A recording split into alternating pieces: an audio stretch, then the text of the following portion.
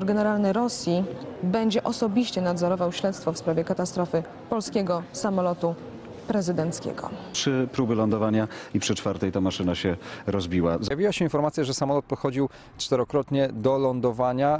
To jest też sprzeczna informacja, ponieważ e, z tego, co nam udało się ustalić, ten samolot podchodził tylko raz do lądowania. Rozmawialiśmy kilka minut e, temu z zastępcą szefa służby prasowej e, gubernatora tego okręgu smoleńskiego, który powiedział, że proponowano jeszcze przed startem samolotu, aby z Warszawy, aby on wylądował w Mińsku białoruskim, właśnie ze względu na to, że w Smoleńsku była bardzo, ale to bardzo brzydka pogoda. Siąpił taki deszczyk, gdzie niegdzie utrzymywała się. Wiemy, że to smoleńskie lotnisko także było okryte mgłą. E, Dwie, przepraszam, oficjalne informacje, które mamy w tej chwili ze strony rosyjskiej. Czy to po pierwsze to, o czym już e, powiedziałem, czyli że proponowano, aby samolot wylądował w Mińsku białoruskim, a potem delegacja przyjechała tutaj. To jest to oczywiście spory dystans, e, a i wiązałoby to się ze sporym opóźnieniem tych katyńskich uroczystości. To po pierwsze. Po drugie wiemy, że rosyjska prokuratura, i to też jest oficjalna wiadomość przekazana nam przez prokuratora tutaj na miejscu,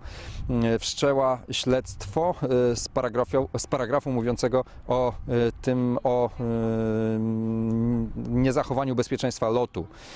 Czyli podejrzewa się, że był to błąd ludzki, to co zdarzyło się tutaj na smoleńskim lotnisku, a nie awaria maszyny.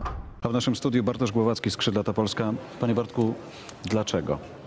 No tak jak mówiłem, to jest splot kilku niesprzyjających okoliczności. Przede wszystkim zła pogoda. Druga kwestia właśnie, być może utrata orientacji przestrzennej przez pilota.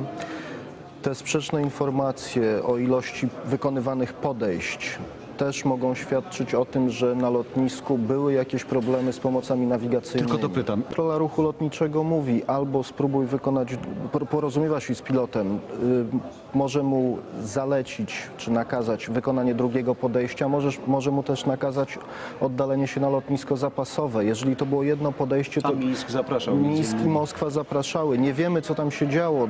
Dobrze byłoby, gdybyśmy znali rozmowy, jakie wieża prowadziła z załogą samolotu. Wtedy wiedzielibyśmy, co pilot zamierzał, co nakazali mu kontrolerzy lotu, więc w tej chwili to, to są tylko spekulacje. za- Tu-154, o ile dobrze pamiętam, ma zezwolenie na lądowanie w kategorii drugiej, czyli 30 metrów podstawy chmur, 300 metrów widoczności w poziomie.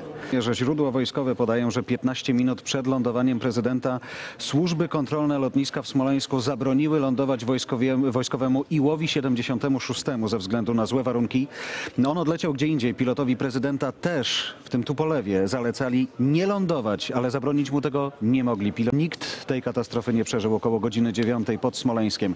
Rządowa maszyna się rozbiła i teraz e, mamy już oficjalną listę pasażerów. Przy, przyszła do nas dosłownie przed momentem. To jest już lista pasażerów e, tych 88 osób, które były na pokładzie m, tego rządowego Tupolewa. Za chwilę przeczytamy nazwisko po nazwisku. 88 osób. Nikt nie przeżył tej katastrofy. Na liście jest y, 89 nazwisk, które zo- zobaczyłam. To jest lis- lista, proszę Państwa, osób potwierdzona o godzinie 7, a więc ci, którzy wsiedli na pokład maszyny. W środzie, kiedy w Lesie Katyńskim zamordowanych polskich oficerów wspominali premierzy Putin i Tusk, dziś to miała być wielka uroczystość typowo polska. Były rodziny katyńskie, mieli być ci, którzy wsiedli do rządowego Tupolewa o godzinie 7.15 w Warszawie. I są informacje ze Smoleńska, że to załoga prezydenckiego samolotu zdecydowała, żeby lądować w Smoleńsku. Obsługa tamtejszego lotniska radziła, żeby lądowanie odbyło się w Mińsku ze względu na złe warunki atmosferyczne. Ну, что, что вы технологии видел? Что видел? Co widziałem? Ну, самолет летел, Samolot leciał, низко летел. nisko bardzo leciał. Дал немножко кле- креном на Miał левую przechył сторону. w lewą stronę, Зацепил zaczepił крылом y, дерево. Y, skrzydłem o drzewo. Tam drzewo było ścięte, które rosło wyżej niż inne i kawałek skrzydła leżał. Były porozrzucane szczątki samolotu na, na długości 200 metrów. A, no i był płomień. Był taki głuchy stuk. Nie było wybuchu, ale głuchy stuk i y, płomień. Zrywu nie było nikaku. Wybuchu nie było żadnego, po prostu głuchy stuk i y, płomień strzelił. Członkowie załogi, w sumie 96 osób zginęło, proszę Państwa, dzisiaj pod Smoleńskiem.